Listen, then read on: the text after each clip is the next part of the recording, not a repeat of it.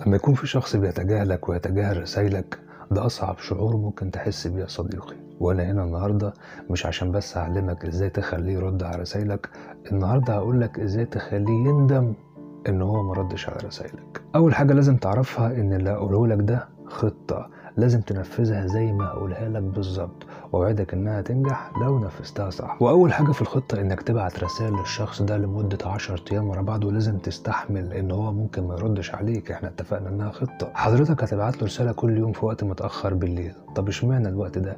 لأن ده يضمن لك احتمالين. إما إن هو هيقرأ رسالتك وينام أو هيقرأ رسالتك أول ما يصحى. وهنا أنت هتكون إما آخر شخص هو فكر فيه أو أول شخص هو فكر فيه. علم النفس بيقول إن عقولنا دايما بتفتكر البدايات والنهايات. وغالبا بتنسى الأحداث اللي في النص وبكده نكون ضمننا إن أنت خلاص بقيت في مخه ودي أول خطوة من الخطة. عرفنا هتبعت له إمتى. طب هتبعت له إيه؟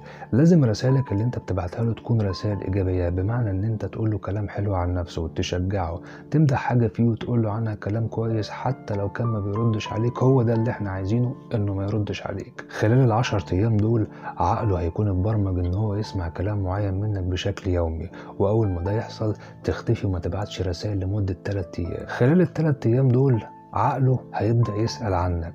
هو راح فين؟ بطل يبعت رسائل ليه بعد الثلاث أيام دول ترجع مرة تانية وتعتذر له كمان وتقول له آسف ان اختفيت فجأة.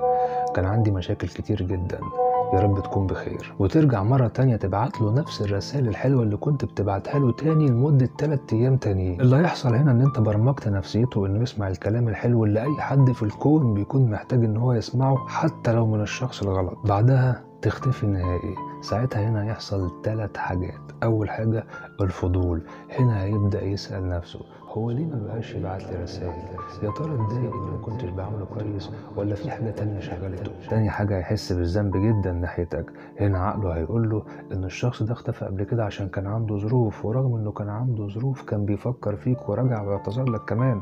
وكان كل يوم بيقول لك كلام حلو ويبعت لك رسائل حلوة رغم إنك كنت سخيف معاه. وهنا هيبدأ يحس بالقلق ويقول لنفسه إيه ده؟ هو ممكن ما يبعتليش رسائل تاني. هو ممكن ما يكلمنيش تاني؟ وهنا هتلاقيه بيبعت لك رسائل وبيدور عليك. ساعتها شوف الرسالة واعمل سين واوعى ترد على الرسالة مهما حصل. خليه يعيش طول عمره يسأل نفسه انت ليه اختفيت؟ وما يلاقيش إجابة واضحة.